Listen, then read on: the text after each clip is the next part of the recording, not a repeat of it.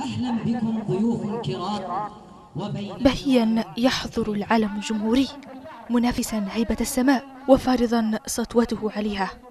هنا تقول الصورة عن المجد للثورة والجمهورية. وفي الأرض يتأهب هؤلاء بنفيرهم العسكري لمواجهة من ينقلب على النظام الجمهوري. أما الشعب اليمني بمختلف مناطقه وفئاته فاحتفاله بالسادس والعشرين من سبتمبر ما يزال مستمرا. كانوا لا يتذكرون اسما للوطن حين فقدوا ذاكرة معنى السادس والعشرين من سبتمبر.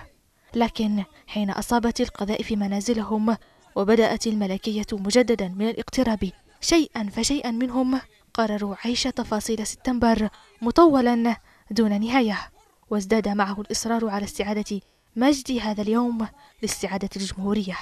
في تعز وشبوة ومأرب وغيرها الكثير من المحافظات. كان الاحتفال مغايرا هذا العام.